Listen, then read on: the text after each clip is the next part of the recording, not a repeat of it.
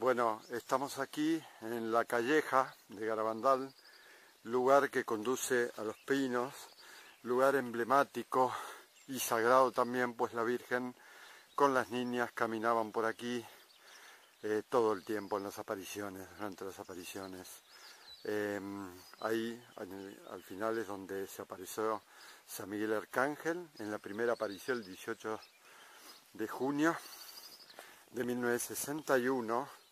Esta es la calleja y ahí tenemos el lugar famoso llamado El Cuadro, que sube, la calleja hacia los pinos habíamos dicho, el cuadro donde las niñas vieron por primera vez a la Virgen y donde ellas em, estuvieron este, en coloquio con la Madre Celestial.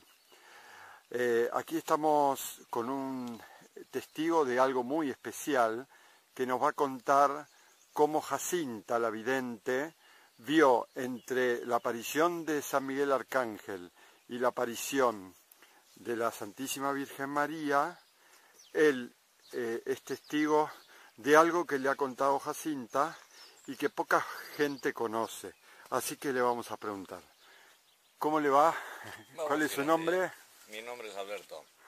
¿Qué tal Alberto? Este, bueno, le hemos convocado a este lugar, eh, también un lugar tan especial, tan sagrado, porque usted, eh, a ver si nos puede contar respecto a una aparición muy, pero muy importante que hasta el día de hoy Jacinta lo lleva muy profundo en el corazón. Pues aproximadamente hace el mes de julio de hace tres años, bajando de los pinos, habíamos estado con Jacinta eh, rezando el rosario y al llegar a ese punto, otras personas y yo, pues sin preguntarle nada, porque las videntes no te suelen decir nada, simplemente te dicen, ¿lo has leído? Pues entonces, ¿por qué me preguntas? Y si no has leído, pues lee los libros, ahí están. Pero concretamente al llegar a ese punto, como digo, pues ella misma, sin preguntarle, dijo que en ese lugar donde nos encontramos, eh, se le apareció el Sagrado Corazón. Fueron las palabras sexuales de ella. Un momento maravilloso para ella, lógicamente, era como meterse ella dentro del Señor. Y, bueno, pues eh, nos recomendó que cuando pasáramos por aquí que rezáramos, porque él también había tenido su presencia y donde está el Señor, pues, pues eh, se siente algo muy especial. Pues nada más. Soy un ferviente devoto de la Virgen, esté donde esté, pero concretamente la vocación de la Virgen del Carmen, yo la conocí en el año 95 y a partir de entonces suelo venir con bastante frecuencia. Lógicamente por vacaciones y demás, pero hoy ya, concretamente ya me tengo que eh, volver otra vez a Madrid. Bueno, muchísimas gracias por su testimonio. Entonces, Jacinta se lo ha contado a usted eh, directamente, bajando de la calleja contigo. Sí, sí, sí. Por lo tanto, aquí tenemos el lugar exacto donde se apareció el corazón de Jesús. En ese puesto.